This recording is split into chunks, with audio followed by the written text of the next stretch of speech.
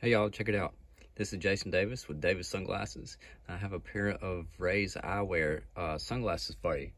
This is the Journey in crystal green. They are polarized. They have a mirrored lens. It's kind of cool. You can, it looks like red. It looks like orange. It looks like yellow. Depends on how you're looking at it. And uh, this is like a transparent I would describe it as almost like a transparent olive green.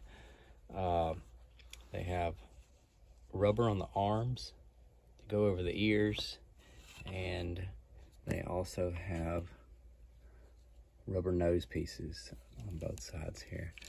They have a smoke tinted lens, and uh, it's a nice. They also have. Uh, so these glasses are sitting out they have the snap hinge. So either open or close there's no halfway to it. So this is a new model for 2022 um, new color. Uh, this is already existing frame that's in use. And I've got a link in the description so you can get a pair.